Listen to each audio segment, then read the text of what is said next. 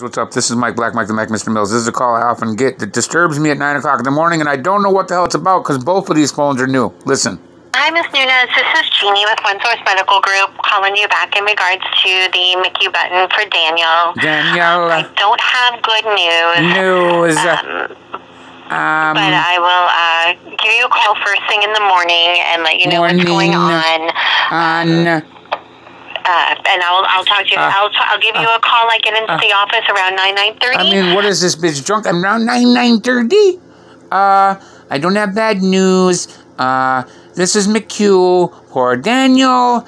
I mean, what does this bitch think? She's trying to sing a song to the sing or what? And I will give you a call around nine nine thirty to give you a more detailed update.